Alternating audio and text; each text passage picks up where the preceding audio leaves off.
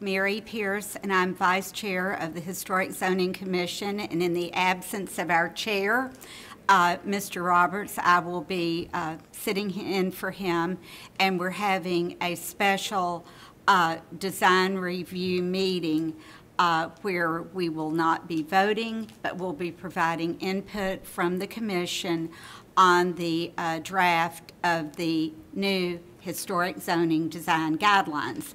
And we have a new member with us this evening, Tyler Marinera. I said it wrong. Say it, Tyler. Marinell.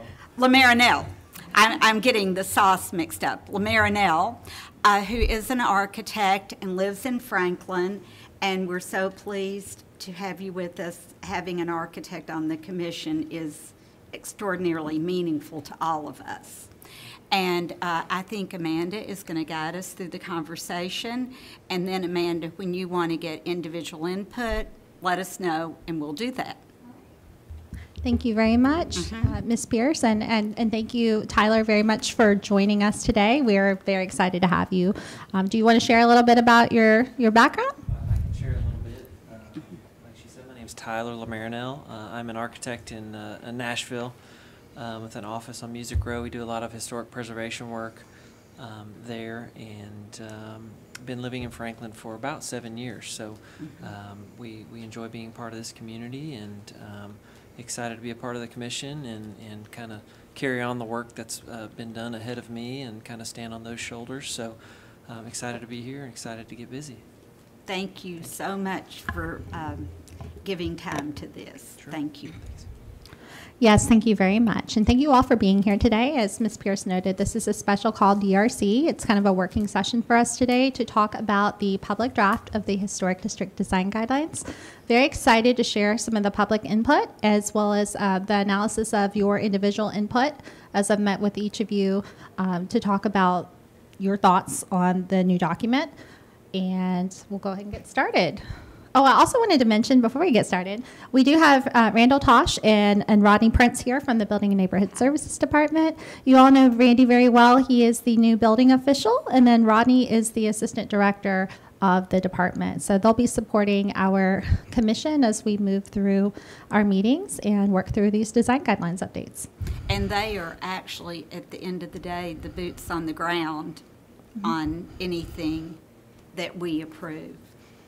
Yes, I, I, I feel great about these folks that I can't possibly have, have picked better colleagues to work with in this department. I don't know if you guys have anything you want to add, but um, you're certainly welcome to if you want to. Randy's a man of few words. Okay, we'll go ahead and get started. So as I mentioned, this is the overview of the analysis of the input. Uh, where we are in the schedule today is um, I did work with, um, I met with stakeholders. Uh, I met with the um, DNA uh, this month and the DFA last month. Um, and we had our neighborhood meeting in January. Open office hours several times over the last few months. And today is the public input session. We are hoping to release the final draft on March 4th. That is very, very soon. so I love, love that we're meeting today and that we'll have this feedback from you. Um, we do hope to have a DRC session on the regular scheduled March meeting where we can go over as staff the, the final draft for you. So the changes that we're talking about today, specifically how those shook out, and then, you know, just give you an overview of that before we ask the Historic Zoning Commission to do a final um, formal recommendation for the draft. The way the process works is that this is a policy document.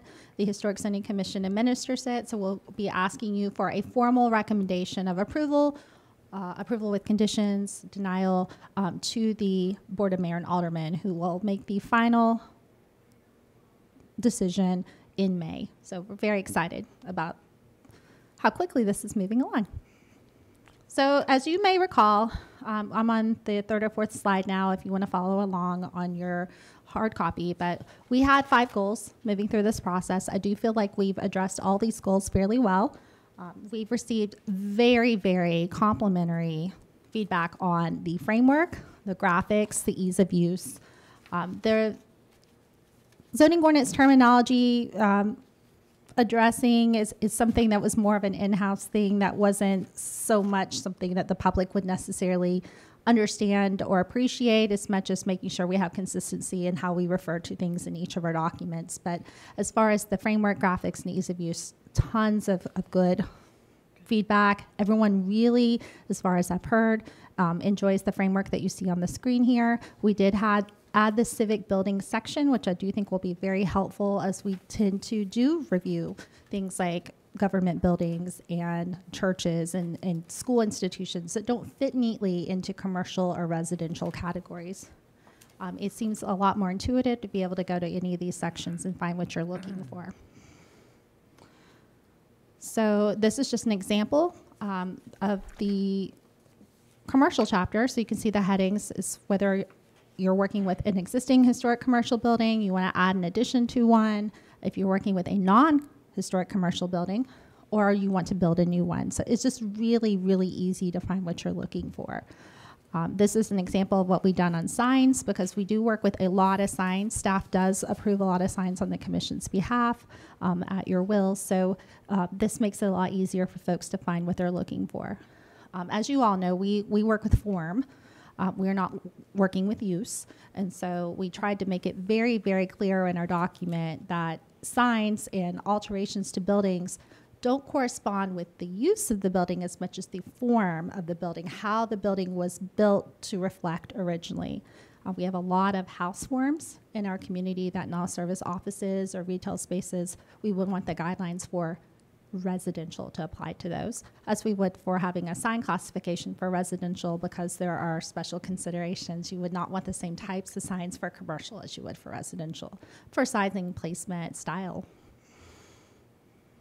This is just a screenshot of the flipping book document. So what makes this so easy to use is that we do have an online interface that is hyperlinked. So you can use the table of contents on the side and click to go exactly where you're looking in the document. This is the same sort of format we used for our zoning ordinance with that update in December 2019. And it was just very meaningful, had rave reviews. So we're very excited about that.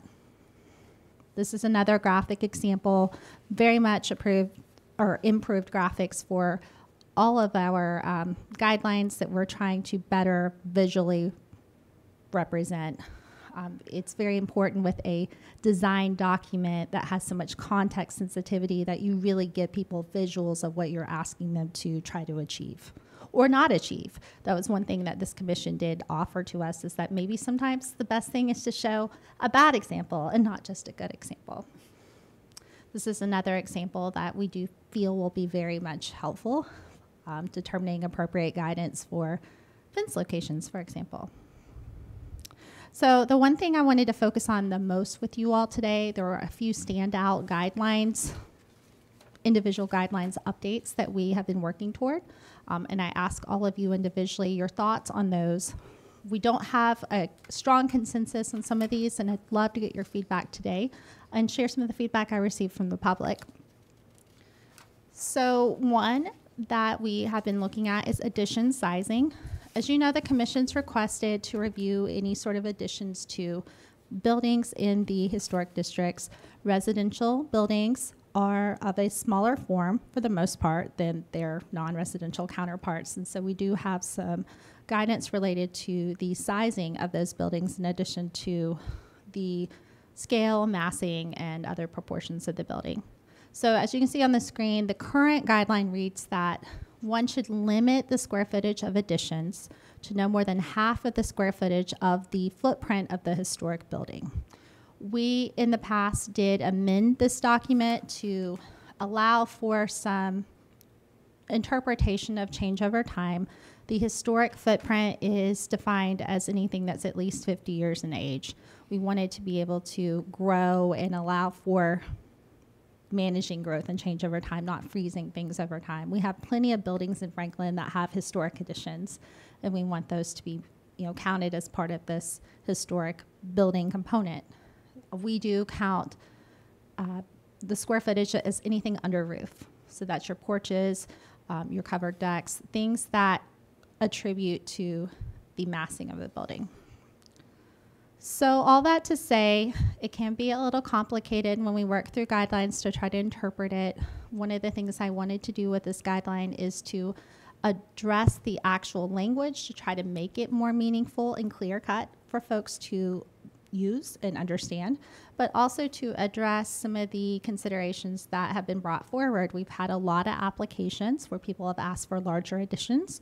They've asked for those for a number of reasons, whether it's just because they, they would like that or because they feel that it's warranted because of the size of their lot or the, the lesser um, visibility of the location of the addition on their lots. And so, with your guidance in terms of evaluating previous application approvals.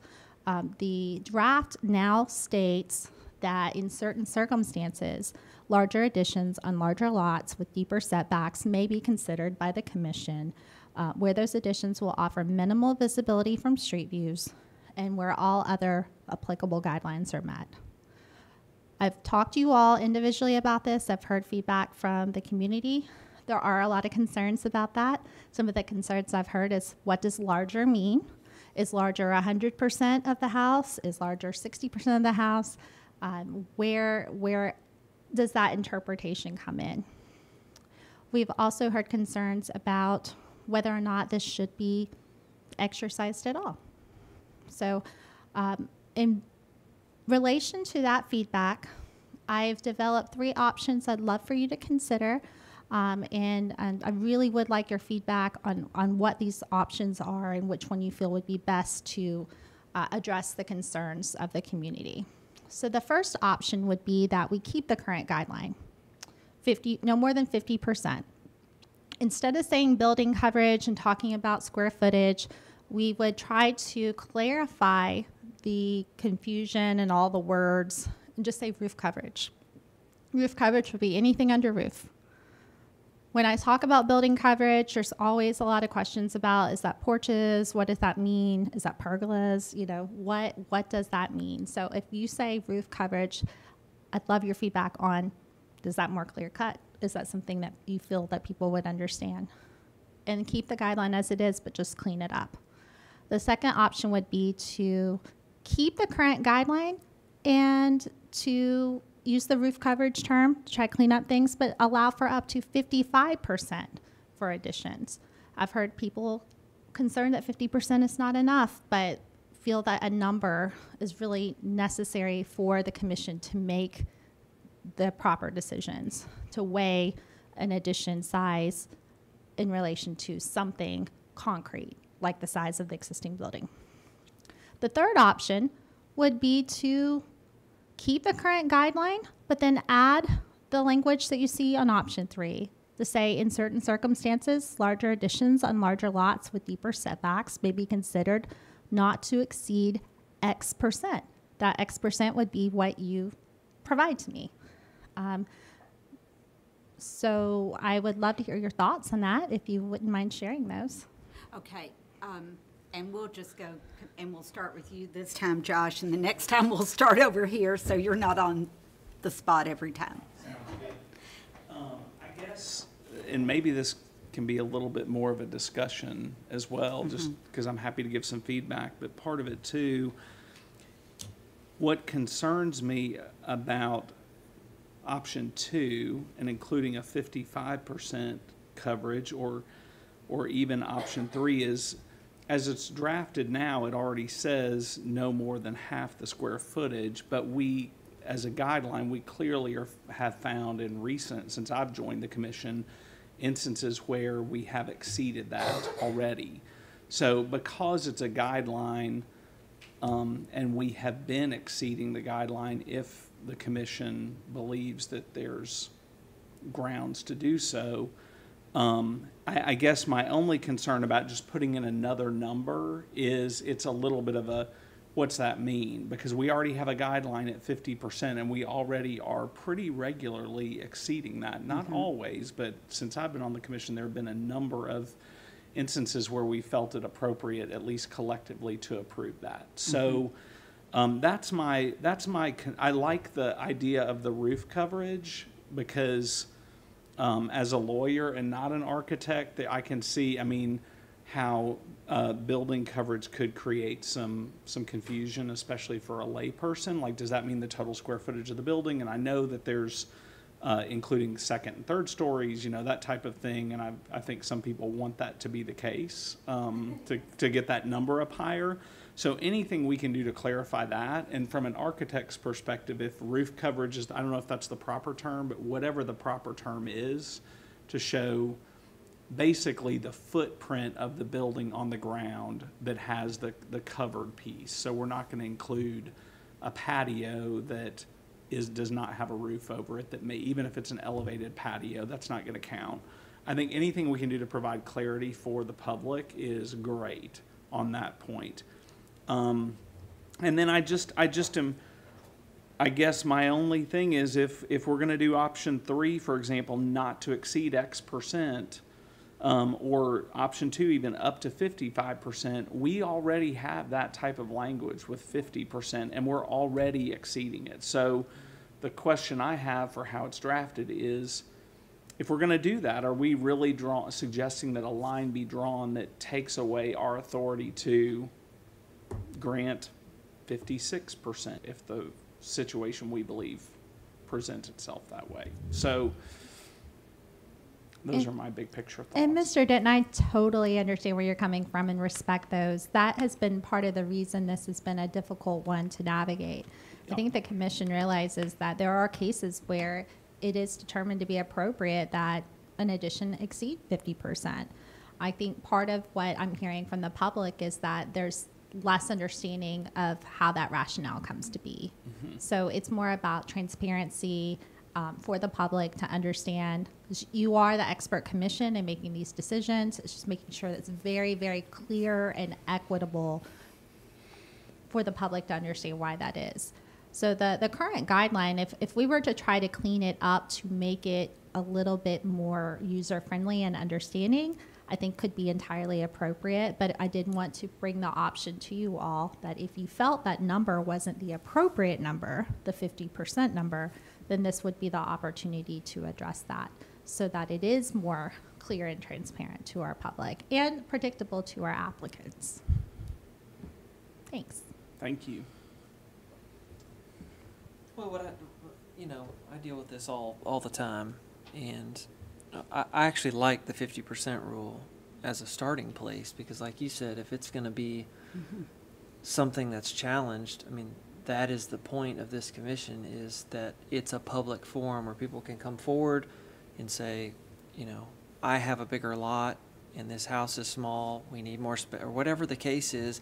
And I think most folks, even pr- pure preservationists, would say if it's really well done, maybe it's it's okay to be a little bigger. And that's really what we're getting after is that if it's respectful and it does all the other things um, really well, then being bigger maybe is not to the detriment. And that's the whole point is that okay, we have to get in a room and the people who have been appointed here by the community have to review it and go, is it an appropriate design? Maybe it's bigger, but is it appropriate? And so I like the language because it does force it to be seen in a public forum. Whereas to come in and go, well, not to exceed seventy-five percent for the off cases, it's like, okay, well then, you know, people are gonna start making the argument that, well, we're under the seventy-five and we mm-hmm. have a big mm-hmm. lot, it doesn't even need to go in front of them. And it's like, yeah, mm-hmm. it, it really ought to, probably. Um, and, you know, and, and the other flip side of that coin is usually the folks with the smallest houses, footprint, drip line, whatever you want to call it, are the folks who really need the most addition because they need the most space. But as preservationists, we look at things and say, well, we have to judge this on this property and this house for what it is. And if somebody needed a house four times as big, maybe this isn't the house for them. But it's hard to say that to the community because it's like, well, this was my grandmother's house and now it's my family of six house. Um, so there's a fine line there. Um, the roof coverage thing.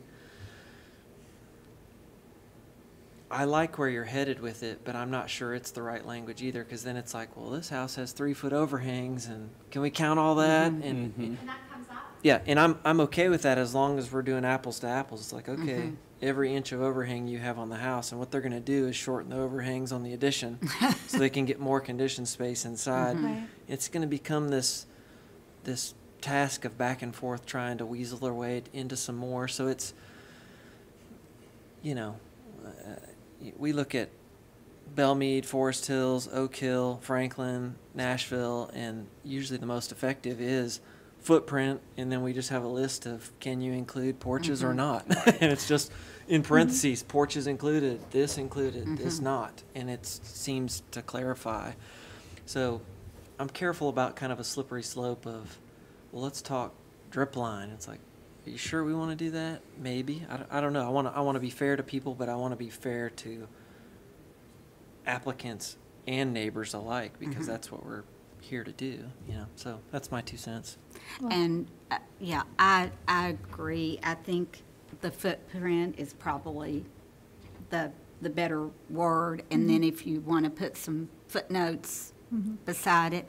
Uh, The thing that I think is still confusing is where it says, um, let's see, limit the square footage of, of, square footage of additions to more than the half the square footage of the footprint of the historic building. And I think it needs to say, uh, historic portions of the building are considered those at least 50 years of age. Just get even plainer about it, that, that that's what it is. Um, and then, I don't know where we say it, but we've also run into where, well, if I rip that off, I still get to count that And you don't. yeah. as the square footage, and that's not true. So I don't know if there could be something that explained you don't have the square footage and get, of historic addition, and get to rip it off, and get to count it. Right. Yeah. Cake can eat it too. Yeah. Yeah. And then uh, the other thing, um, And maybe, you know, we, we have tried to do that with the graphic, and I, I don't think that's enough. I think it needs to be more narrative, like you mentioned. It's just, you know, 50% of the extant building. right, You know, what is there currently um, Right. that you are saving? If it is um, historic, you shouldn't be removing it. that's right. But, but we've had people to not understand that. Absolutely. And, and I concur with what both people said about um, having the 50% as a starting point and put in certain um, situations um, that it, it would be allowed to exceed that. Uh, You know, we've got a house where uh, I think the addition got up to 82%, but it's got an acre in the backyard, and it's sort of close on the sides, so you can't see it, and it doesn't affect uh, the view shed on the rear of the house because of the way it sits. I would disagree with visibility from street views. Uh, I'm thinking about um, a house that, um, well, I'm thinking about several, where um, the, you need to consider the view shed from the neighbors too, and we always do, so I don't know why you would want to say that when we always consider it from the sides and the impact to the back of peering over a neighbor. And I think that would be confusing for me, because I'd go, so now you're talking about the side and the rear, Yeah. and you've got Right. street views. So that's my feedback. And And, and I think it can be really complicated to talk about this in an isolated circumstance. All these guidelines apply for a reason. Where this is particularly related to size, but size could also be exaggerated by scale and by But why mass can't and it say placement. street, why can't it say view sheds or something instead of just street views? Well, arguably, all additions are viewed from somewhere. That's right. Right. And we, we review them from everywhere. Mm-hmm. But this says, to me, if I'm an applicant, we're reviewing it from the street view. Well, I think I can expound on that a little bit with the next one, but I want to Mm-hmm. Finish up the discussion Okay, with yeah, everyone else. Keep going. What, what are your My turn. comments? Mhm. Well, I thought I was clear on it. Um, But I think for me, what needs a little further clarification too is not the roof coverage part, that portion, and maybe it's called the foundation slash ground footprint, meaning just the first floor Mhm. footprint, That's true. as opposed to a roof shed, or, I mean, a, um, roof coverage with a drip line, overhang, Right. those kind of things. So foundation slash ground footprint would be my thought. And I, I still lean to option one with the fifty percent, but give further clarification to, um, what is the footprint. I'm scared to jump up to fifty-five or whatever, um, based on historical character and, and form and shape of the space in reference to the lot and the various views that we look at all under. So I think we could relatively, or collectively as a group, call out different decisions based on a further clarification of what is the footprint, the fifty percent of. So I'm sticking with option one. Thank you, Kathy. And and Kathy, Lisa. I really like uh, the idea of uh, emphasizing the foundation and ground footprint as uh, the starting point for people so that they're not confused with roof coverage versus building coverage. Um, I agree 100% with everyone who has said, let's not let's not go to fifty-five percent, and certainly next, on option three, uh, to add another percent, I think we are going down a road that we, we don't want to enter into. And the reason we exist is to be able to, as someone said, make those exceptions when, when they're justified. Um, the, the language about the visibility from street views bothers me, I think, because lately, it seems like we've gotten a lot of applicants who emphasize the visibility from the street view as if that's all we care about. Uh, So I, I, I don't, I- don't uh, endorse that language. Um, But I agree that in option three, there might be a place to say that in cer- certain circumstances, uh, given various considerations, that, that the commission may uh, agree to a larger uh, um, addition based on a larger lot size.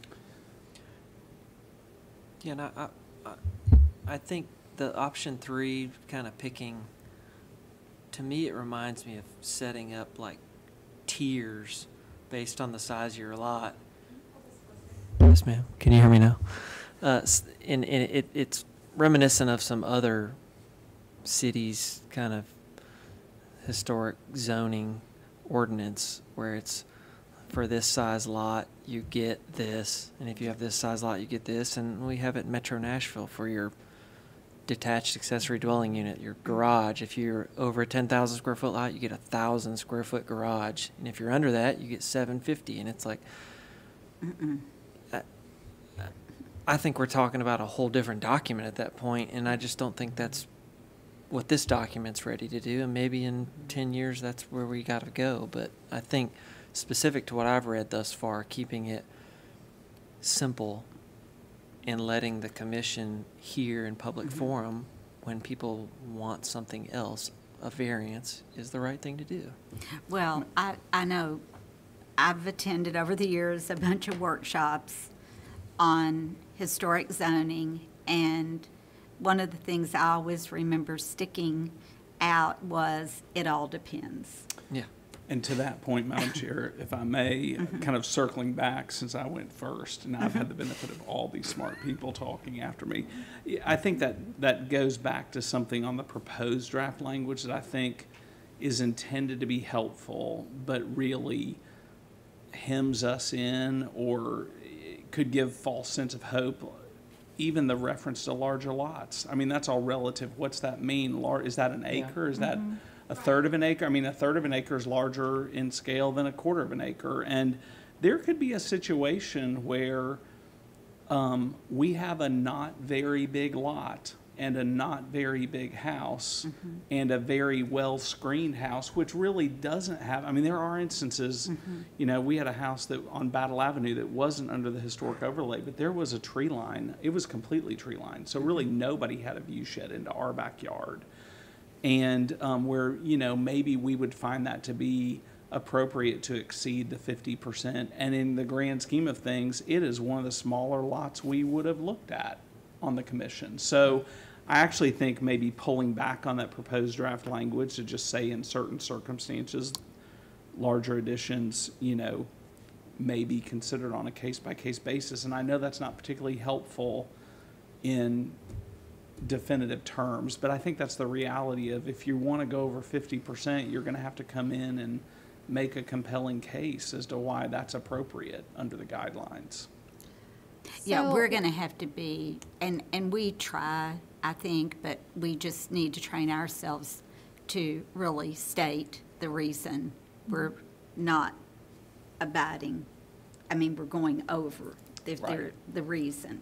And it does all depend. I'm thinking of, um, a commercial project on Third Avenue North where a new building was built to replicate the house that was there. It goes straight back, but everything's squeezed in, and you really don't notice. Yeah. And I think, Amanda, remind me, the, the language of the street view, that comes from Department of Interior standards. That's their thing. It does, and Yeah. that's what I wanted to, to kind of circle back to. Um, the, I'm, I'm pulling up something right now I can reference to you all, but essentially, the the main preservation tenet that we are looking to to meet is um, the Secretary of Interior standards for the treatment of historic properties, rehabilitation specifically. Um, 99.9% of what we review is rehabilitation. We're not restoring, we're not preserving um, to the definitions that are ascribed to those. The main goal is to do no harm. Mm-hmm. So, what has been really difficult for folks to understand and, and what I want to try to help address with this document, and forgive me, I'm pulling up something again, like I said, to, to help with this, is that size is one component of what makes an addition appropriate. So if I were to take this document and really just be candid about it and say, these bullet points are what the commission considers as what makes something appropriate or inappropriate. Size is one. Your overall form is broken down into parts like scale and massing. You have your, your footprint is, is part of that size. Your roof complexity, how your roof relates to the rest of the, the roof of the building. Um, the envelope, meaning your, the bulk of it, the, the floor to ceiling heights, your um, finished floor elevation.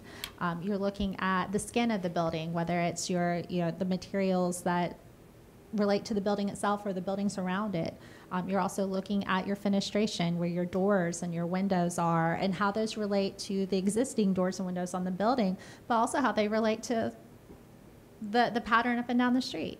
And so all those things make something appropriate or inappropriate, and size is just one of those. And I think when people come in, they see that 50% and they think, well, as long as I meet that, or I'm just a little over that, then it's going to be okay. That's just one element of what mm-hmm. makes something okay or not okay as far as this document is mm-hmm. concerned. Mm-hmm. So it might just be more of a revisioning of how we present that information so it doesn't feel like that's a hard and fast number. It's just something that makes it appropriate or inappropriate. What I was pulling up is what we call the fresh test principles. Um, I'm going to share the screen. Forgive me, this is on another community's website. But determining compatibility for new buildings in a historic district, if you think FRESH, the acronym FRESH, you're looking at your footprint. You're looking at the roof structure, the, uh, the projections, the bulk, the floor, to, uh, the, the height to width ratio, that's your envelope. You're looking at your skin, which is the cladding, your materials, your, um, the, the texture and quality associated with those, the colors associated with those, um, if it's inherent to a material like a masonry. And then you're also looking at your fenestration, which in this case is referred to as holes, the, the glazing um, on the building. So um, I will definitely send that out to you guys. I think about that a Mhm. lot when I'm reviewing new construction, whether it's an addition or whether it is a, a, a new building altogether. Um, but that's something that I think we could try to reframe the conversation to, to really relate to. Um, but what I'm hearing from you all is that you really do prefer option one. Um, maybe roof coverage isn't the right word. I was struggling mm-hmm. to try to get at that. I think what I have right now is footprint is probably the best word, mm-hmm. but trying to clarify, make that just really, really easy to understand. Footprint is, like Ms. Pierce said, anything that's at least 50 years in age, ground floor, mm-hmm. And d- is there under a, roof. Is there a, a glossary of terms? Yes. Okay, because then in, we could define Yeah. footprint and say it's not pergolas, but it's screen porches, Mhm. it's covered stoops, it's, Mhm. you know, Yeah, porte cocheres, all that kind of Right. stuff. Yeah. Great point. I think anywhere you can help with the de- the definition agree. and set it up so that then that ripples throughout the rest of the guidelines, that makes your life easier too, because you can always refer back. And, and something I learned in architecture school is don't make people go somewhere else to find something. So if we have space right there where you're telling them the rule, just put it on there. Right. Um, because it's just one less place they have to flip back and Mhm. define that. And it may have a term they have to define again. It's just easy to just put it on there. Well, thank you all for that. Do, uh, do any of you have any other questions or comments about this particular guideline proposal? You all do extraordinary job on these. I know that context sensitivity is something that can be subjective, and it's definitely um, not a, a yes or no regulatory type review. Makes it more difficult, um, and it makes your decisions that much more meaningful. And like Ms. Pierce said, just being really, you know, vocal and, and, and explaining why it is that decision has been made versus another um, application that isn't quite the same, but it might uh, seem the same to someone else that's presenting it. Just being very, very clear about the, how those decisions are arrived. So One I'm- more little thing Yes, ma'am. came to me. Um, I kind of like not changing the percentage because I don't want to change too much of the guideline as a first stab to it. So I think if we take a mm-hmm. small bite and, and give further clarification on that definition of footprint, that'll, that'll get us a long way, I think. Yeah, I agree, I'm I not agree. changing the I think, percentage. I think every, that's what we're hearing. Yeah. Mm-hmm. Well, thank you all for that. I really appreciate it. That's been extraordinarily helpful for us as we move forward for that final draft. So the next one I want to talk about is, is building coverage. So right now, one of the guidelines that uh, apply to uh, new construction proposals, whether it's outright new buildings or additions to existing buildings, uh, in an effort to try to keep some continuity of green space versus non green space, whether it's hardscapes or, or roof covered areas up and down the street. We do have a maximum building coverage recommended in our residential areas at 35%. Uh, before 2010, that number was 30%. We did have a lot of pushback on that from the community, so it was raised to 35%. That number roughly corresponds to an evaluation that my colleague and I did looking at parcels in the historic districts and kind of ev- evaluating the percentage of building footprint versus the size of the lots. And, and it is roughly a third in a lot of places. Now I'm talking about residential only. Um, but essentially, that helps keep that semblance of side yards and front yards and how you, how you visualize the street up and down each and every block face. Every block face is different. Even block faces across the street from one another can be different sometimes. And so, just looking at those things and trying to keep that in mind. Um, as you all know, we do get a lot of requests to exceed that, especially in new construction. The commission's made decisions based on context, how well you see the new construction from existing um, historic established neighborhoods or not. Um, and um, when you find that you don't, sometimes the commission feels comfortable raising that or, or not. Um, What staff had proposed initially is to remove the maximum building coverage. And to explain that further, it's, it's part of it is because we do have a landscape surface area requirement in our city that is applied to any parcel in the city of Franklin. Um, in residential areas, most of what we have in the historic district would be about a 40% maximum LSA, which means that your hardscapes, whether it's under roof or anything that water can't penetrate, can't exceed 40%. People are getting those two, the guideline for maximum building coverage and then the LSA requirement confused because they're very similar. Um, so I thought eliminating it might be helpful, but through the conversation with the public, when you all individually and collectively, you talked me out of that, which is great. I love bouncing these ideas out. And, and part of the reason that, um, that I, I would recommend that we consider something different now, and I'll go, go to that, um, is because I'm hearing from everyone that you, you like that regularity of green space up and down the street. And to Mr. Denton's point, the commission can make a determination of appropriateness in various circumstances where perhaps it makes sense not to, and be very clear about why that is. Um, landscape surface area will be required to be met regardless of what the commission approves. That is a stormwater consideration we want to be very mindful of. Um, sometimes people will use pervious pavers to allow for more covered space on their property, but that isn't necessarily meeting the intent of what that guideline is, which is to have more green space. Uh-huh. So maybe taking that out would encourage people to do more pervious pavers, which is aren't bad. Don't get me wrong, but it, it's it's more hardscape and less green area in our historic districts. Further, the the guideline that we are recommending for this update would apply 35% maximum building coverage to residential areas in planned developments. So, if a development plan is approved through the city of Franklin, has multiple lots, they're residential in use, whether they are single family or duplex or a multiplex, which would be a building that has up to four units in it that appears to be like a single family home. Those would have maximum coverages on each of those lots at 35%, which would help keep an established rhythm with what you have elsewhere in the historic district. Sometimes when um, developments are approved, those dimensions haven't been vetted against our design guidelines, and so sometimes there's this expectation uh, by the person who, who applied that they could have a bigger house form than, than really would be contextually appropriate.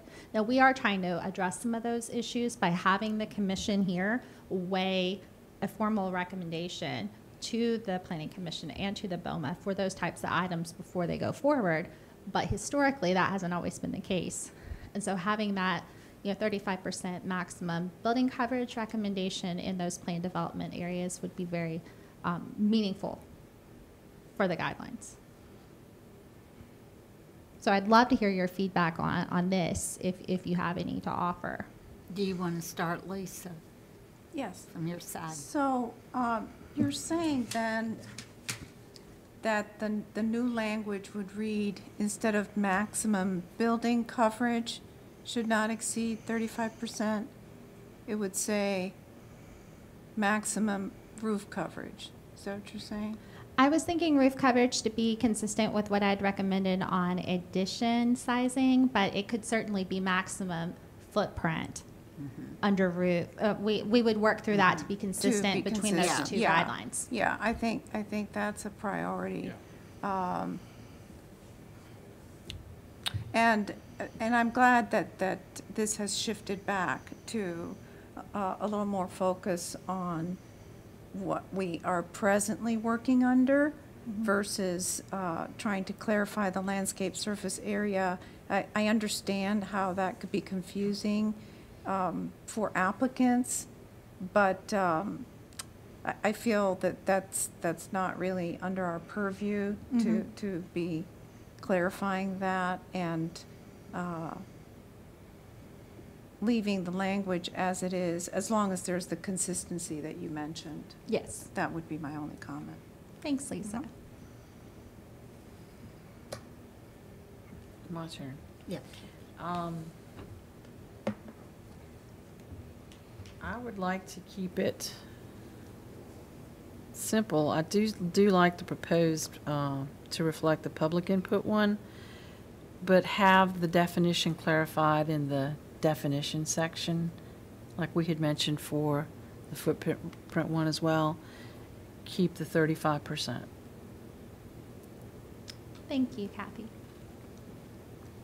And I- I concur with what, what's been said. Tyler? Yeah, I, I, I'm probably not familiar with the thirty-five percent, just what, what it looks like on a standard lot Mhm. here. Not that they're all standard lots, but, um, working so much where I work and not doing as much work down here, it's like, well, is thirty-five enough? Or is it really restricting?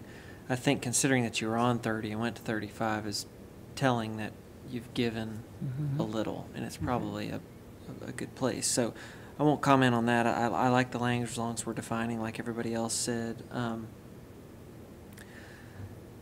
is is there language in the in the guidelines about eave depths and things like that? The recommendation for new construction is that there is a minimum eave depth um, defined, but we have had some architects in the past ask about eave depth in relation to roof coverage, and if you have a particular architectural style with deeper eaves, if you can count that towards your footprint, and the question has always been relative to um, advocating for larger addition sizes. Yeah, I, I can see someone elongating roofs, Mhm. roof lines, eaves to create porches that don't have columns under them and things like that. Um, and I think we'll see those things, and we look at a set of drawings and go, something's peculiar about this. Um, but it's what you give up by not controlling roof Mm-hmm.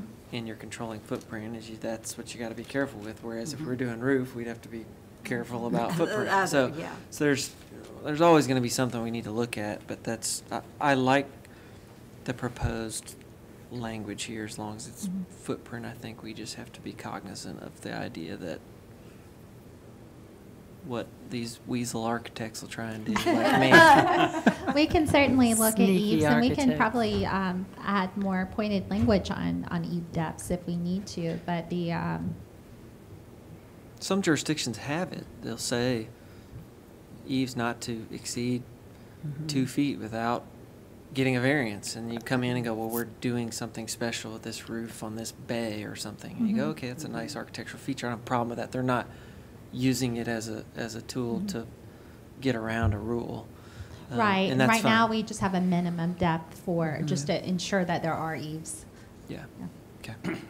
I think that various communities do have various means to, to try to get at what we're trying to get at here. I know some communities calculate volume um, in order to determine if a building is appropriate in their district or not. Um, I've heard a lot of complaints from architects that have worked in those communities about how difficult that can be. um, I understand the point of it entirely, but I do think there are other ways to try to skin that cat. So we've, as this community, has tr- have tried to address that with footprint. Um, I think it works really well. Um, you know, bringing this forward to you all isn't to imply that it's not working by any means. We're trying to take a document that our current document's a, not a bad document. It, it's a mm-hmm. really good document. We get lots and lots of requests from communities all over mm-hmm. um, at how we arrived at those things. But we're trying to make this document even more clear and user friendly mm-hmm. and educational. So whatever we can do to try to make it easier for folks to understand the intent and really to appreciate the intent is, is what we're trying to do here. Yeah. So everything that you've been saying is has been really helpful for me, and I do think footprint is what you all feel comfortable with. Yeah. And I don't We can ever- try to get yeah. at the eave I don't ever want it. I'm a fan of hiring design professionals, obviously, but I think community design guidelines should always be able to be just picked up by a layperson Mm-hmm. and go, what can I do within the guidelines, Mm-hmm. and just understand it. Don't have to do, you know, calculus to figure Mm-hmm. out the volume under this curved roof or something. It's like they should be able to sit down and mm-hmm. understand what I've got and what's possible without hiring an architect or an engineer to do the math or calculations. So I always trend towards simple because it's easy for us to mm-hmm. govern. Yes. And simple because it's easy for people to understand. Mm-hmm. Well, these are guidelines, they're not codes. That's right. So Right. I like the guidelines as well. I, I support keeping the thirty-five percent included. Um, what I think I'm hearing is we're trying to, and I, I agree, it ought to be consistent with what we did on the addition size. Like however we define that, let's define it, let's make it really clear for the user. Put it in the definition, in the defined terms, and then ripple that throughout. So we don't have people arguing, well, here it means this, here it means that, and it's, the intent really is for it mean to, for it to mean the same thing. So from a, you know, an interpretation standpoint, it's just cleaner if you have it defined clearly in one place and use that defined, just the term throughout. Then there's no question that's what you meant. What it feels like we're trying to draft to address is potential confusion uh, within the community or, or by applicants as if I meet this, then I don't have to meet the landscape surface area under the zoning ordinance or vice versa. And so I could see where we could put a note that says, you know, this maximum building coverage requirement is completely independent of and in addition to any obligations under the zoning ordinances related to the landscape surface area. So people know I have to check both boxes. What concerns me about that is if we put a little note, a user-friendly note here, then everywhere else there could be overlap with the zoning ordinance. We don't have that note. Somebody's gonna say, yeah, but in this other instance, it's not there, so it must not apply. And I think that just becomes kind of a mess. So, um, I think it's the intent in trying to clean this up is really just having people understand, just because you meet these guidelines, you still have to meet the zoning ordinance. And I think, doesn't every application that we approve have that on it? I think, So one of the good things about the thirty-five percent is that it caps it to a point where if someone does not think ahead to program their mm-hmm. driveway and their walkways and their pools, then they have that. And it's different for every district, but mm-hmm. for most, for the most part, for a historic district, it's mm-hmm. forty percent. So they have that little wiggle room of five percent mm-hmm. there. Uh, I was really trying to address the confusion between the regulation and the guideline, but the guideline is so well intentioned. It may be that we do a better job of explaining why it's there.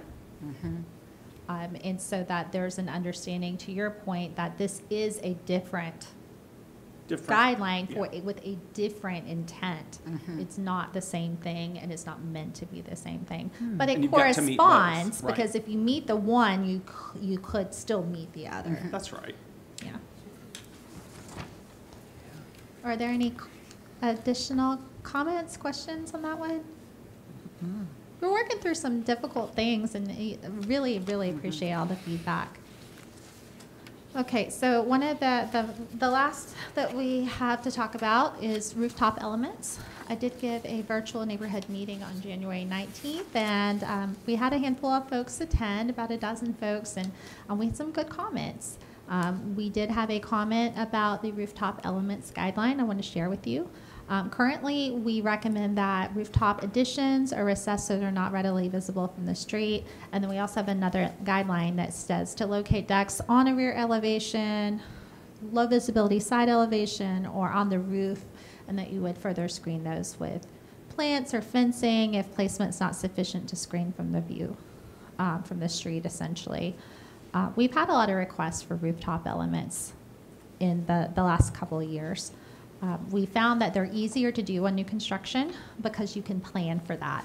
You can plan to accommodate for lack of visibility. If you're doing it on a historic building, it's much harder because anytime that you have an existing historic building, there's usually not an access to the roof already. You have to build that access to the roof, and then you have to build an element above the roof and have it encased somehow to encase that either that stairwell or some kind of vestibule there um, that penetrates the roof, and that creates another level honestly. And then you have parapet walls that are existing that aren't meeting modern code for safety. So people will need to provide railings or some kind of a glass screen to try to allow for that safe access. Um, all of that can affect a historic building's um, appearance pretty significantly. So the guideline as proposed in the document currently is that one would avoid the placement of rooftop patios, terraces, or decks on the roofs of historic buildings. And that you would only place one on a non-historic or new building if it presents no visual impact to the main or secondary streetscapes. Um, an alderman had some concerns about that and wanted to, to encourage us to, to think more about it because it could stifle, in her opinion, the creativity um, that could be associated with the, um, the use of a historic building or the rehabilitation of a historic building. And I, I certainly understand that sentiment. Um, and then I've talked to each of you all about it. I've talked to other citizens about it, DFA, DNA. Um, most of the community feels really strongly about not having those rooftop elements on historic buildings. But in the interest of, of trying to ensure that there is the ability to accommodate where it could be appropriate, um, the, the new proposal to reflect that public input is on the screen here that one could place a rooftop patio, terrace, or deck only if it presents no visual impact to main or secondary elevations. And what I mean by main is what you see from the street, from the front most of the time. We have some Main Street buildings that you see the backs of them very, very clearly. Um, the white building where Starbucks is, for example, you see the whole rear elevations, and those are major secondary elevations. Um, so, in my mind, if someone is able to accommodate maybe mid block, for example, so you don't see those elements from the street, maybe that could be appropriate. But there are some element, some locations where th- they're just not going to be as easy to achieve, unfortunately. Uh, we have a smaller scale historic district than some of the areas that we tend to think of as having those rooftop elements, like Charleston and Savannah. Those um, those downtowns are of a four, five, six multi-story scale. Um, and they, the higher up they are, the harder it is to see those elements from the street. But because we have a two and three-story scale community, it's harder to accommodate those in a meaningful way without being detrimental to the historic character. So that's not to say we couldn't, but it may be uh, more challenging for some buildings with higher visibility than others. So I'd love to hear your thoughts on that. Um, I will certainly respect whatever feedback you give to me, and that's what we'll move forward with. Is it your turn? I guess it's my turn. I'm never sitting on the end again. Yeah. Um, I, I would prefer the language that doesn't prohibit it completely, because. Like what's while- on the screen. Yes, because while we may, you know, sit here and think, you know, can we come up with an example where we think it would be appropriate? I don't know. But at the end of the day, if an applicant feels they can meet um, the objective, and Mm-hmm. I don't want to, I, I guess I would prefer not to stifle that option. I, I understand that. I do, I do think it's a harder, a higher bar for uh, a historic structure Mm-hmm. because you can't plan, to your point, you can't plan for it. Right. It is so much easier in new construction, Yeah. certainly. But we've certainly been met with, I mean, I can think of lots of examples of new construction where that also would be a challenge. And we've had some really creative and innovative projects come before us. And so it was never my intent to stifle, certainly. Yeah. Um, I do think that this is a well-intentioned um, criticism we've received on that. So um, thanks for your, your comment. Yeah, and I think the other thing, and I guess we've talked about it some, but as far as if there are rooftop um, elements placed, one of the issues I think we've discussed, I know Ms. Pierce has had an opinion about this, um, is vegetation growing and creating, where, so where initially it is not discernible, but then vegetation could be growing up out of the tops of buildings. So I don't know if that's Are you suggesting that vegetation is a good element to have on tops of buildings to help screen those things, or no? I just want to make sure I follow. Yeah, my, my sense is no, from what Okay. I'm envisioning, where if you, if you're planning, you may have an element screened perfect, appropriately, where it really doesn't impact the historic district. And then seven years later, there are trees growing mm-hmm. out of the top of the building that, that takes away from, that actually does start distracting. I, I understand what you're saying now. Thank you for clarifying Sure. that. Because sometimes shrubs initially could be helpful, but when they become very large and they draw your eye, that's drawing it to a place where you're not, you really need to draw to your facades and not to Right. the tops of your Right. buildings. It's one thing if you're screening on the street level, but when you're screening on the rooftop element, I think that, Mm-hmm. that can become a concern. I think that's a great point. Thank you for that. Sure. I think I, uh, I would probably lean towards the, the proposed with the public input. Um, to, to me, it has a lot to do with kind of the silhouette. So we talk about like the Starbucks building. You know, some of those do have flatter roofs. Some are pitched roofs in, on, on our square here. And so it's like, well, a flat roof building with a parapet. If you can get up there, you know, get on the roof without being seen, uh, then those lend themselves pretty well to, to putting something there and using it. Um, you know, I see rooftop decks on houses, like historic homes, and it's like right behind the main ridge. And my problem with that is it's it's it's not a residential silhouette. Does that make sense? So you have this mm-hmm. It does. residential house, mm-hmm. and then all the all of a sudden you look around the side of it, and mm-hmm. you're like, "Is this thing have a flat roof, or what? What's going on here?" So, Yeah. and I know there's some other mechanisms in place to kind of catch this form. Is the ro- roof form appropriate for the neighborhood, and what's appropriate for downtown versus mm-hmm. some of the residential areas of of um, of our purview here is is that silhouette thing's important, and that's the language that the the Depar- Department of Interior uses, protecting the silhouette, which goes back to that mm-hmm. front view. It's all about the silhouette, and mm-hmm. and some jurisdictions make you notch in, so you can always see all four corners of a historic building, so it could be taken off, and you, it's really defined in that way. And so again, I, I like that language because at least you get to see it. If somebody comes up with a really mm-hmm. great way to do it that we haven't thought of, it's just not off the table. We can Right. look at it and go, this is a creative way. It's in a place that makes sense, and you get to hear from all the neighbors who are or aren't concerned mm-hmm. about it. So, Well, yeah. thank you. I appreciate that. I, I would agree with the proposed one that has the public input. Um, I won't call out a name, but I know a residential house downtown that has a rooftop and you just can't see it from any direction. So, you know, some, there are some creative solutions and Absolutely. let people have the chance. Thank you, Thanks. Kathy. Josh, the term is a design element. When in doubt, you plant it out.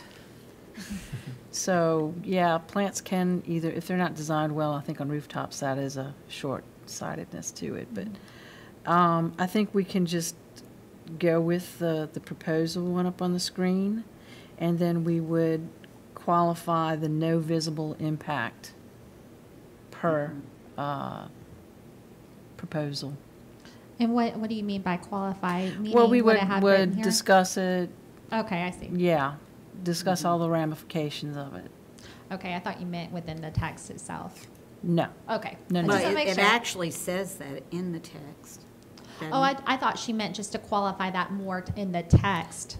Oh. Um, but I think what she meant is to, you know, mm-hmm. the Yes. commission would make Yeah, an yeah. interpretation, is there a visual impact, um, to the, to the building or to the streetscape or not? And then how is it that much different than what we currently have? I mean, it seems like it's a little bit less defined, or- or, or I think we're we not have- getting from all, we're just saying basically the same thing, but just not as specifically? I think what we have currently, and I'll go back to it, when I, I vetted the document, um, it talks, it's, it's a little more, bit more specific to rooftop additions in my eyes because it's in the enclosed additions section that is a rooftop addition that is conditioned. Um, and then there's also some language of decks. People use decks very, the, the term deck very Okay. differently, I've noticed. Um, when I think of a deck, my intent is the, the, the wood structure that you add to the, um, to the back of a building or to the side of a building as an appurtenance. Um, some people use deck as the top roof of your structure. Right. And so to me, it was really more of trying to be more s- defined and specific as to where those patios, decks, rooftop uses versus Okay. a, a wood deck on the back of a building versus an enclosed um, square footage conditioned space on top of a building. So is this go- element going to, or this guideline going to be in both residential and commercial? The intent was it, um, for it to be in the section related to modern features, which would apply to both. Okay, So what we could do is keep it that way, or if there is a concern about having um, or introducing those things to residential structures, res- I shouldn't say structures, residential forms, then we could certainly, you know, address it just to not allow for that. because Um, I think no visible impact varies according to whether mm-hmm. it's residential or commercial Right. application. So I think we mm-hmm. could discuss it on mm-hmm. that level. So allow it for both and just vet it out one by one, For which, both. which I think would what be do. best. Yeah. I agree. Miss Lisa? In order to protect our, our historic structures, um, I feel very strongly that rooftop patios, terraces, and decks, whether visible or not, alter the historic structure um, in a way that may not be able to be reversed. And I see that as a slippery slope. Um, And one that would be a shame because uh, we exist, obviously, to protect our historic structures. So uh, in terms of the language, uh, I I like the, the public input language as long as it encompasses the proposed language. Well, but even the proposed language allows patios on, on historic. So, uh, I mean, I feel strongly that, that historic structures should be given uh, the kind of protection against that in the guidelines that, that is needed. I And that think it that's should an be clear. Excellent and meaningful point. And a really thoughtful one, Lisa. Thank you for that. We do have some guideline language for additions to non-residential buildings that would suggest that if an addition's added, it could be removed in the future mm-hmm. so as to have little to no impact to, to the existing commercial form. That's really important for the downtown specifically. You have a lot of folks who may ask for a ground level or a multi-level addition, take the existing historic brick wall off the back to accommodate that, and you lose it. Mm-hmm. And sometimes people want to, you know, restore a building back to what it was. It's, it's more and more common all the time, and then you've lost all that historic fabric. So in the sense of the do no harm approach, we do try with our guidelines to allow for additions where appropriate, but to keep that back wall, use the existing um, door and window openings to access the new addition so that you're keeping so much more of that historic material intact so that not only is it just the right thing to do from a preservation perspective and it adds more to the story of the building as you use the building, but it could be reversed in the future um, to allow for that building to stand the way it had before. So perhaps we look at some language for rooftop elements to say, you know, how detrimental would this be to the building if it were to be removed in the future? Can you remove it in the future without harm? Um, and that's certainly something that we want to be mindful of with a lot of our historic structures as we um, consider alterations to them. Wouldn't the same criteria for any other addition, whether it be, you know, a rear addition, a side addition, or whatnot, apply to a rooftop addition? To your point, as it's, as it's already covered? This section is more specific to modern features as we've defined it. And Mhm. so I think if we want to ensure that, we would probably want to add it to this language here. Because a lot of rooftop additions, as we're being asked to consider them today, aren't enclosed spaces. They're access to rooftops. Mhm. The building next door, 231 Public Square, wasn't an entirely new building. It was a 1970s building. They took it down to the frame and reclad it, but they added the upper story enclosed space, which gave a stairwell and an elevator to access. And then you had it recessed enough so that you didn't see it so prominently from certain vantage points as you approach Public Square on Main Street. It made it a lot easier to work through because it was almost a new construction project. The, um, so there is an element of rooftop addition, but there's also rooftop deck or patio Mhm. or however you want to define that. Um, what we're going to find mostly on extant historic buildings is that people aren't needing to build out so much of an addition as much as some sort of an, a a stair access to get up there that's covered, however small that may be, to access the, the rooftop area. So those guidelines aren't, they don't apply so neatly. Yeah, it's kind of a mix, right? So if they had to pop up to have an elevator be able to come up or the stairwell come up, that might, what I, what I'm hearing you say is that might be the addition, because that would be conditioned enclosed space, but then the rest of it that is the exterior deck or patio would not necessarily fall so neatly under that. Exactly. Yeah, It, it's a hard one to define because it is sort of a hybrid and it's all Mhm. contextual to what your current conditions are. But what I'm hearing from you all is that it needs to not be a visual impact to the street. And that using vegetation isn't always the best way to manage that. It really needs to be more of visual lines, sight lines, and placement of the, um, the stairwell access Right. or elevator access so that you don't have that visual impact. And if someone needs to supplement a parapet wall, that, that needs to be vetted through the commission and that might need to be something really that we don't define as much because it really would depend building per case building. by case, yeah.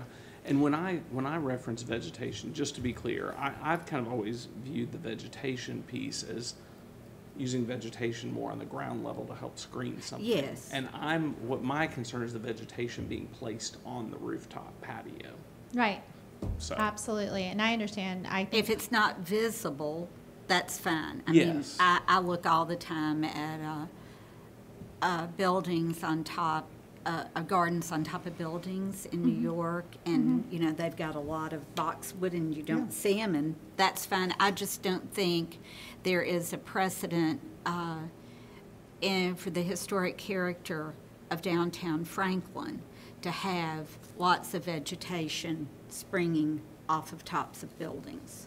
oh, yes, I, I, I certainly understand what you both mean. I think green, green roofs can be a great thing and they mm-hmm. can be very significant in environmental perspective, but as far as visual impacts to mm-hmm. the historic district, those can be achieved by recessing those so you don't see Yeah, those just so much. recessing. I Right. mean, because I can, you can certainly see why somebody wants it. Of course, of course. Oh, absolutely, yeah. All right, any other questions or comments on rooftop elements? Just, I guess to be clear, I, I'd like to know from my fellow commissioners, okay? Uh, What language do you prefer? The proposed in draft or the proposed to reflect the public input? Because if I had to pick one of the two, I would pick the proposed in draft. The language seems to be a little more protective of our historic buildings. Um, But I'm curious, I think I heard from fellow commissioners that they liked the uh, public input.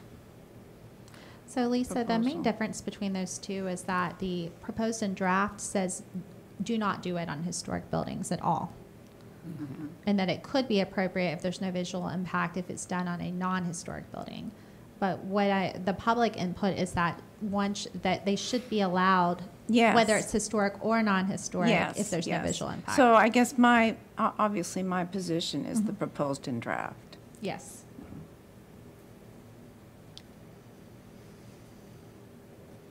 Well, I, I would ask you, as an architect, Yeah, I mean, I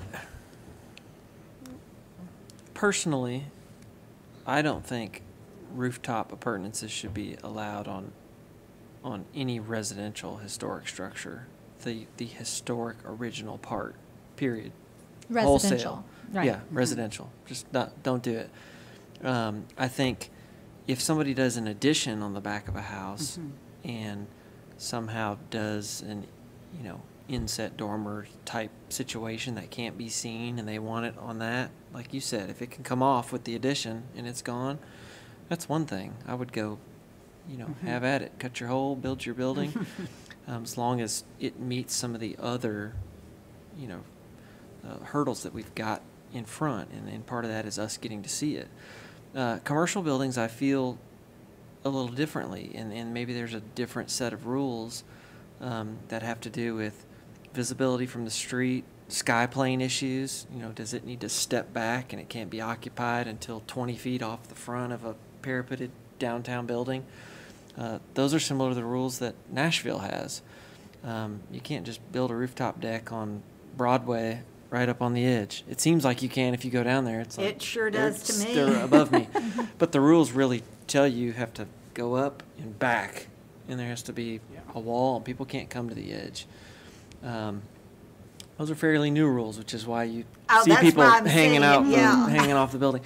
But uh, you know, I think at, when we get to really the, what I would like to see is really breaking it down by by style type, and it may be just as good because of the quantity of that we see in this community that we keep something simple and we just get to look at it and go, no, I don't think this is appropriate because of it's this type of building and it, you've located it here and it mm-hmm. does this to your roof line and this to the old. buil-" We'd get to judge those things, um, and I think that would be okay mm-hmm. because of the amount of submittals we get here is not what Nashville gets, where it'd just be mm-hmm. like too much to look at everything. Mm-hmm. Um, so, but residential, the existing form, I would, I would, you know, if I were king of the universe, I'd say no, it's never happening on these, the historic form. The addition, we'll look at it. Commercial buildings, I could see where it might be appropriate for a flat-topped building to have that kind of penthouse access put towards the back, and you can get up on an existing roof. I could, I could I can tell you Solicit where items. there's one.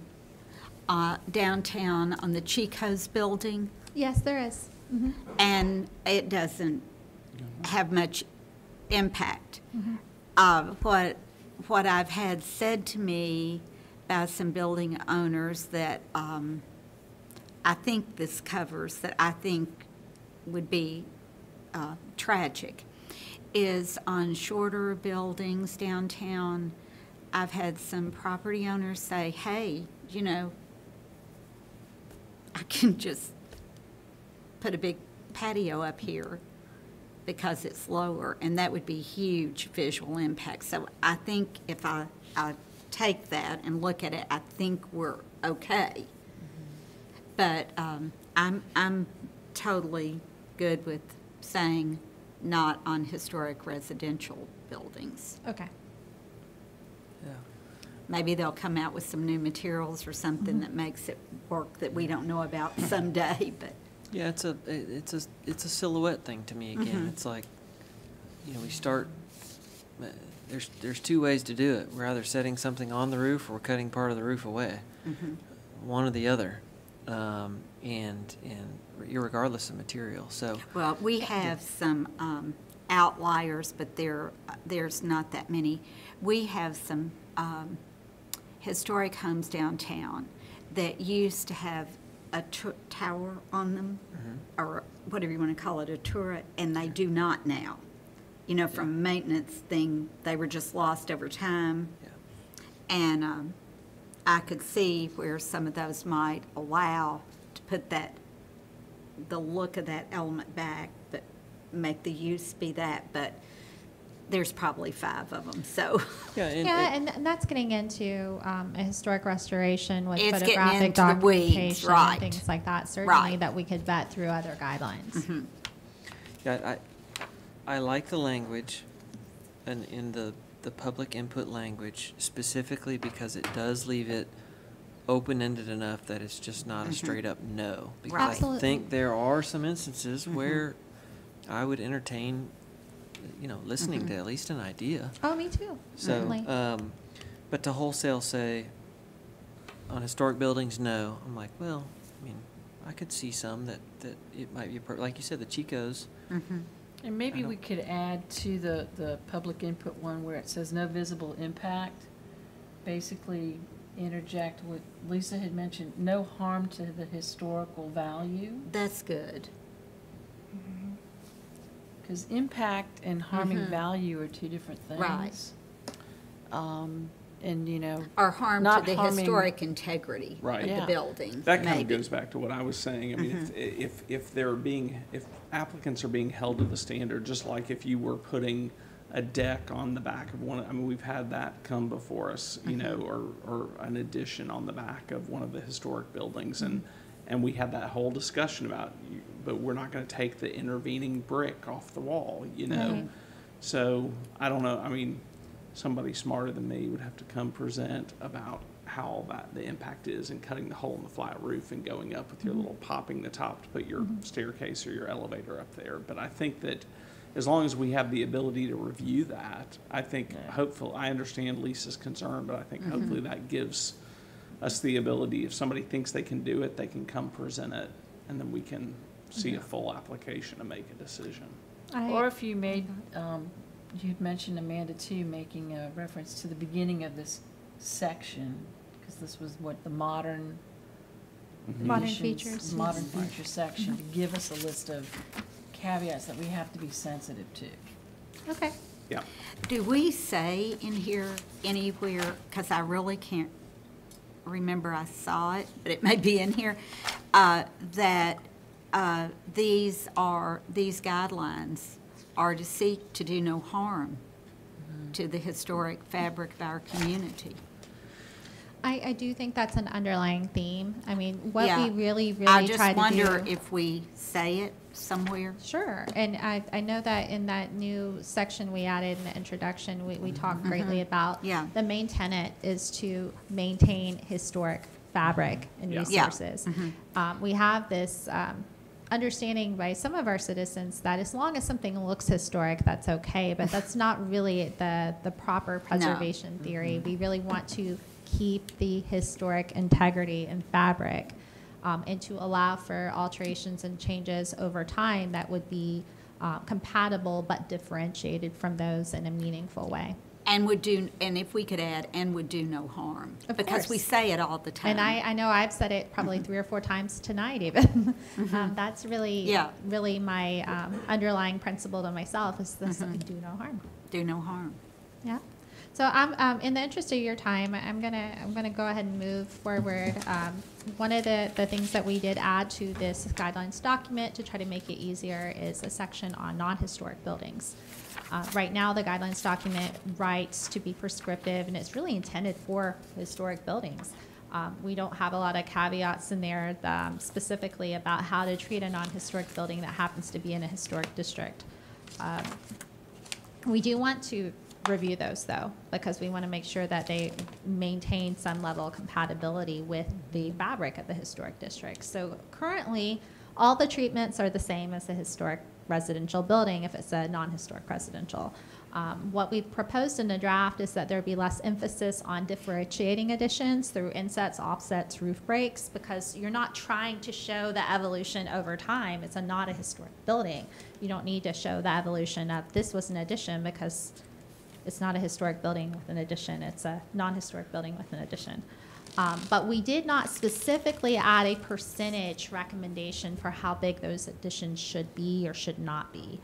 And so that was something that the public and the commission members in particular felt insecure about moving forward with, that it would be appropriate to allow for a building that's not historic to have an addition that doesn't read as an addition, that's flush with the building, flush roof line, but there should be some semblance of scale maintained with the rest of the block face and the, and the surrounding area. So having the same guidelines recommendation for the size of the footprint should be in there. So that's what I have shown on the screen here, is that we uh, adjusted that for public input. I put fifty percent because that's what we have currently. Sounds like you all agree that fifty percent is what we should keep for historic buildings too. Um, But that is um, where we've landed based on that public input. So if you all have any concerns or questions about that, I'm, I'm happy to answer those. I do. I have a que, unless we're gonna do. Go ahead. round robin. So if, just walk me through it. I've got a thirty-five-year-old house, so it's Sure. not historic. Um, I don't have, and it's small, and I wanna do more than fifty percent, and I'm not gonna get anywhere near that lot coverage uh, maximum. Uh, In the revised version, I'd be capped out at fifty percent of whatever the original thirty-five-year-old structure is. As a guideline. As a guideline, subject to this. What if I just want to demolish the building and start over and come with the third, to get right up to the thirty-five percent lot coverage? Is that, is that the end run around this limitation if we're putting it in? So, you know, we've, we've talked a lot about addition sizing for historic buildings. And to your point, perhaps it isn't as important for a non-historic building. And I agree to some, some extent. I think some of the concern we've heard from the community is that, does that mean someone could double or triple the size of their building? Is, um, and how would that interact with the historic buildings around it or the surrounding district? Yeah. Um, which could be negative. Yeah. Um, But to your point, Could they just get, could they come, would they even have to come before us to get the demolition permit for the thirty-year-old would. building? So They they would. would? So what would happen is that, you know, the, there are guidelines in place for reviewing um, demolition. If something does not have architectural or historical integrity, um, that is a criteria by which the commission can consider demolition. And a staff would likely recommend approval for the demolition. And I would venture to say the commission would approve it if it's Right. not a historic building. Right. Um, And then you could build and follow the new construction guidelines. That's what, I'm just a little, I, I hear you on the limitation, but I could see where somebody has, you know, forty-six years ago, built a twelve hundred square foot house on a, you know, a big lot, or a mm-hmm. not so big lot, I mean, but a lot where you could build much more under the new construction, it doesn't meet historic. And rather than coming in and applying and trying to convince us to let them go over fifty percent, if we have that in there, mm-hmm. they just tear it down and start mm-hmm. all over I understand. with no limitation. So that, I'm not necessarily advocating a position, I just, that's what jumped out when I looked at mm-hmm. this, is are we really kind of protecting that, or is that the way to just, because if it's, none of it meets the definition of historic, then, And I, I think you're you're onto some a really good point. I I believe the greenest building is the one that's already in place. So mm-hmm. historic or not, it's better for the environment to keep a building unless there's some sort of mm-hmm. Accentuating circumstance. Um, so I, I certainly don't want to indirectly encourage demolition of a Sure. building just because it's 40 years in age and not 50 years in age. Um, but um, I'm responding to what I've heard from the community, and I'd love to hear all your impact, um, feedback on that because um, that's part of the reason I took I, I proposed to take it out.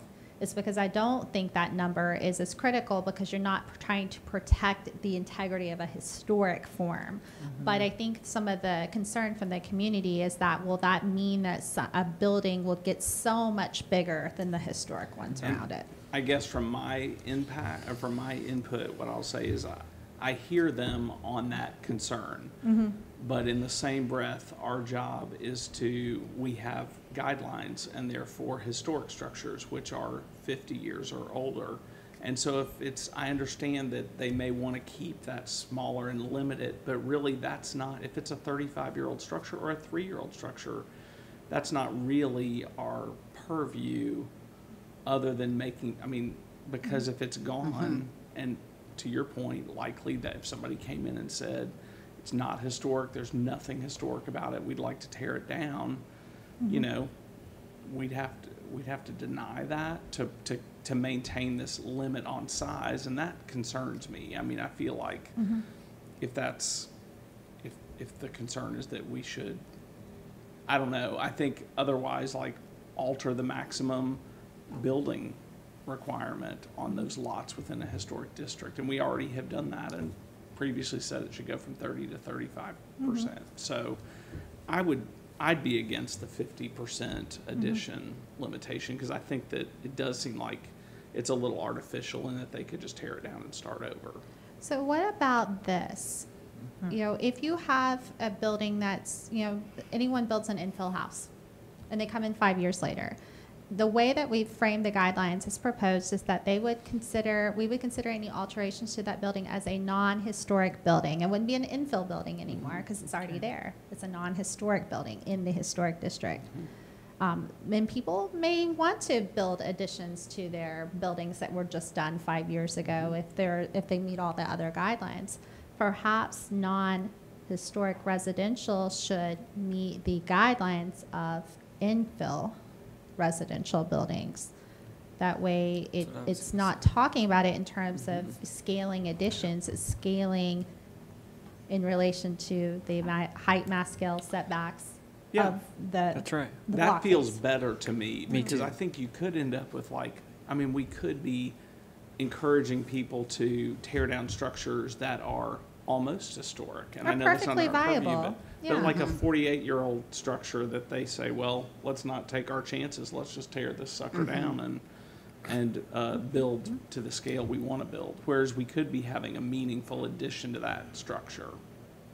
Yeah, well, y- and you've always got your kind of backstop, which is you're not going to get past 35 no matter Right. what you do.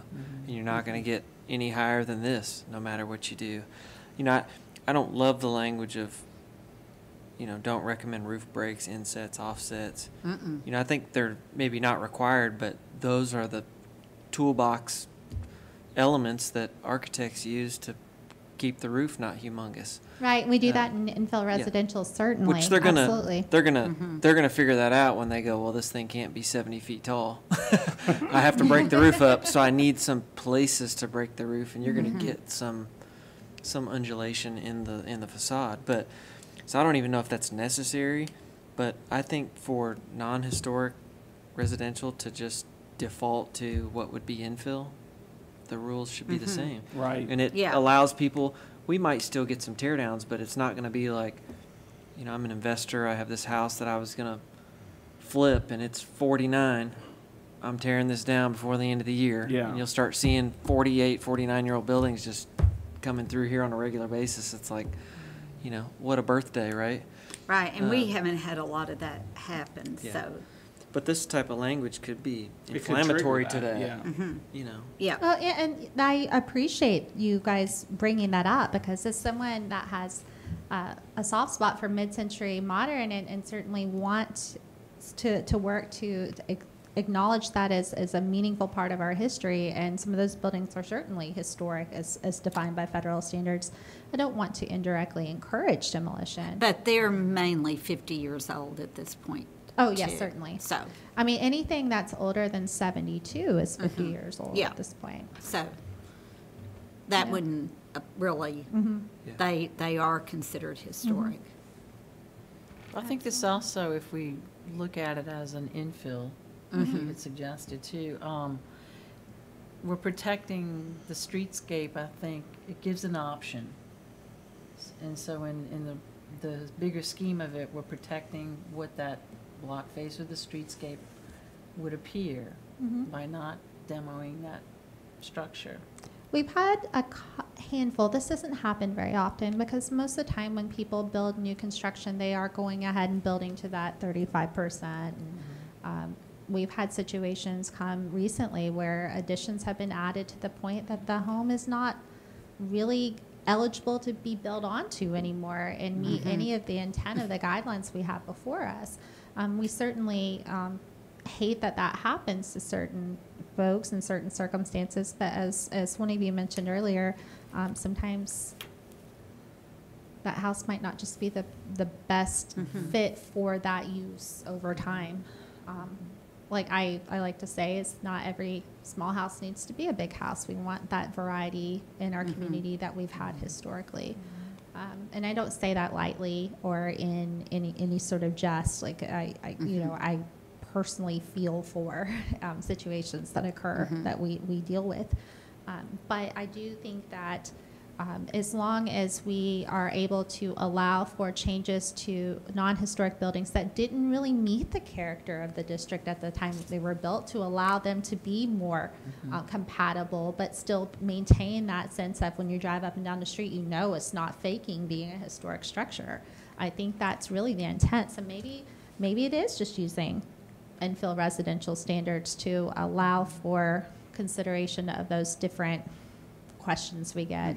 Occasionally, we have questions where you know, new owners come in and they want to change the way the porch looks or the dormers look or something. It's it's never anything major, um, but it would give us a reference point. Uh, The only thing I would add to that, because I- I agree, the, the referring the applicant to infill uh, gives them a framework that clarifies uh, their likelihood of succeeding in the application. The, the language uh, should be in scale with surrounding historic buildings. Could use some clarification.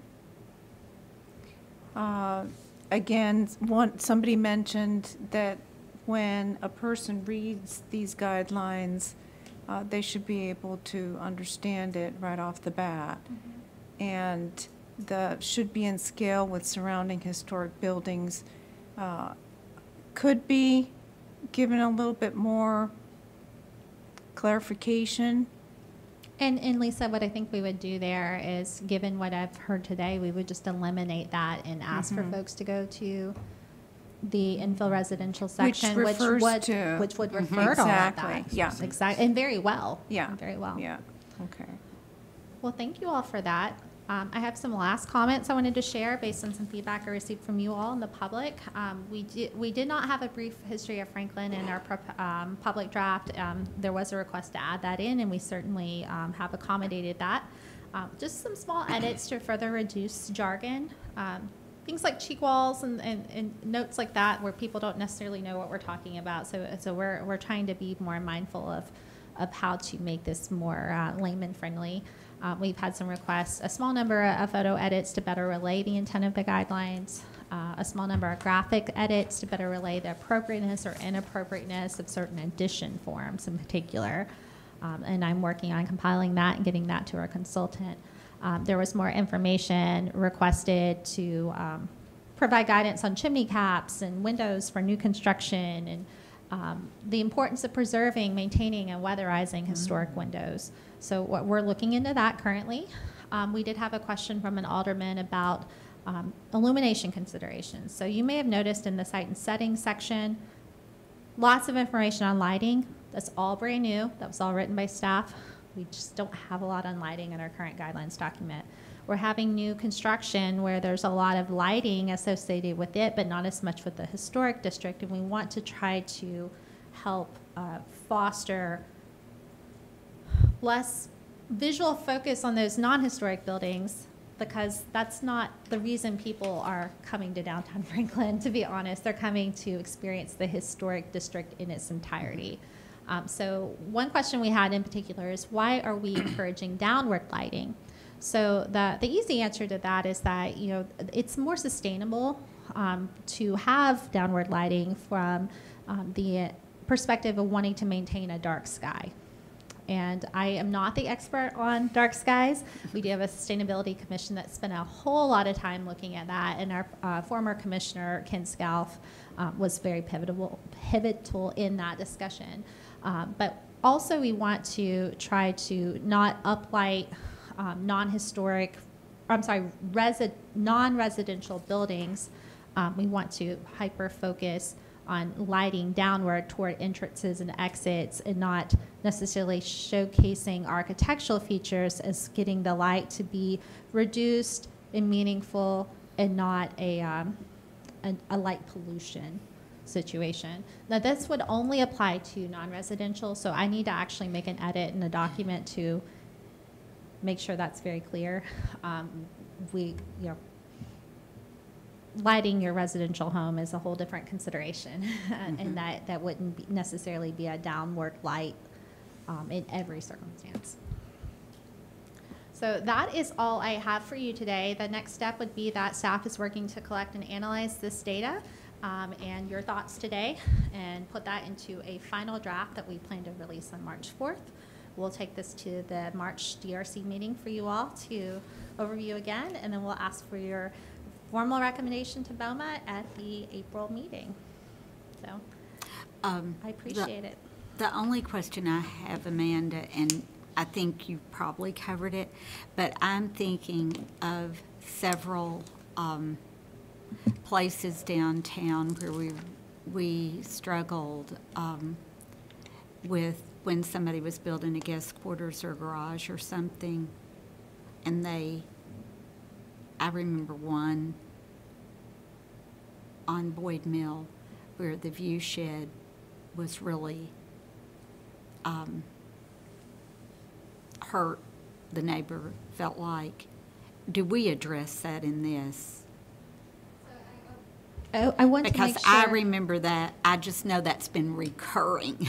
So are you talking about the placement of, of accessory structures on lots that's related to neighboring lots? Mm-hmm.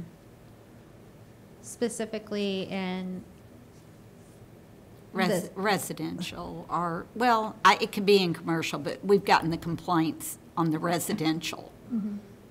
let me talk to you offline about that. I want to make sure I understand what, what you're asking. Yeah. As far as, is it, is it the scale of the building or the location on the lot or It- the, uh, It's the more windows? how the, if the pers, the neighbor feels like they're peering down. I understand. Yeah. Okay. I just know, I've been, I, I can tell you a few. I, I, I think I understand. Yeah, we'll, we'll talk about that. Okay. Um, sometimes, and I think to, to Ms. Pierce's point, sometimes a building accessory structure could be incidental to the principal building, but based on where it's sitting on the lot, it could be very much bigger than the neighboring properties buildings. Um, so being incidental to the principal structure is great, but it might not feel comfortable to the block face mm-hmm. in the mm-hmm. surrounding buildings. And, and is that in our purview to be commenting on? Based, because the guidelines don't really address that. Well, they do if think. you look at, at scale. I guess they do, but if you, I think the important look thing at is, scale, if but- we, uh, what we've, we've tried to do with this document is to say that accessory structures should be in keeping not only with the principal structures they serve, but, um, in the, the typical scale and form of what you see in that district or in that, on that block Yeah. face. And I'll, I'll make sure it's a little bit more clear on that, because most of the time when we have those situations occur, uh, it's an unusual situation where a house just happens to be a lot bigger than the ones around it. So being incidental to that house is easy, but it might not be in scale with everything around it from, uh, from neighboring properties. and I, th- I think we probably have the ability to do that now, but just, I'll definitely look at that. Thank you for thinking about that.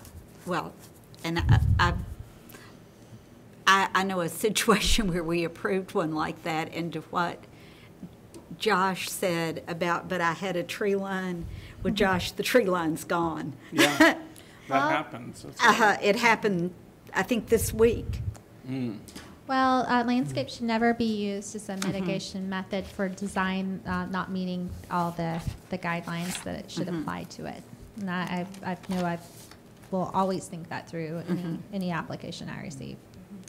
And Well- would you say that that's clear in the guidelines?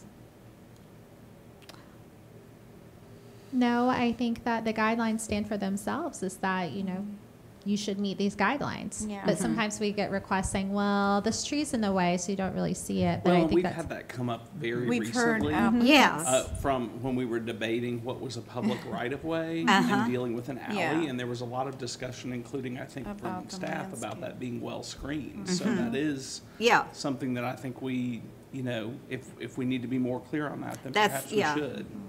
But I just noticed one this week, and uh, it all seemed all good at the time, and now the trees are gone. Yeah.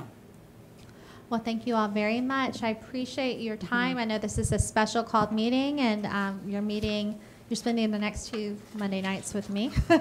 Uh, I did want to, before we go, um, confirm, um, confirm that we did select a date for the special um, DRC site visit for the factory at Franklin at uh, 230 Franklin Road.